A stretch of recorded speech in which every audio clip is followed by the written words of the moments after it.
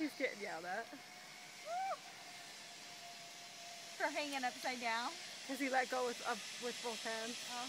You're supposed to always have one hand on it. Woo!